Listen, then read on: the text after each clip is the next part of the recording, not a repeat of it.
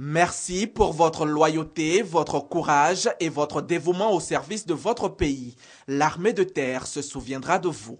Voilà en substance les mots de Gaussou Soumaoro, le commandant des forces terrestres, à ses 55 militaires retraités de l'année 2013.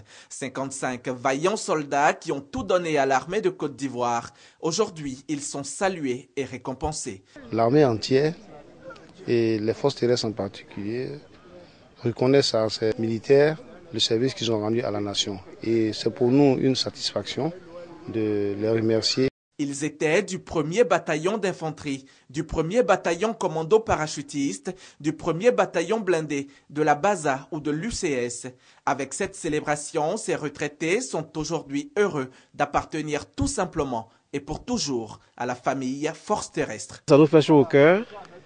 Alors ça prouve que notre passage 30 ans pour les uns, 35 ans pour d'autres, n'a pas été inutile. À mes amis et collègues sous-officiers, il leur a dit de tenir bon. Nous partons, mais nous restons à leur côté. Maintenant, je vais faire mes activités personnelles. Mais je serai toujours à la disposition de l'armée dès qu'ils ont besoin de moi pour quelques conseils. Honneur militaire, salut aux couleurs, remise de diplômes et de cadeaux aux 55 anciens. Voilà ce qui a composé cette cérémonie d'hommage.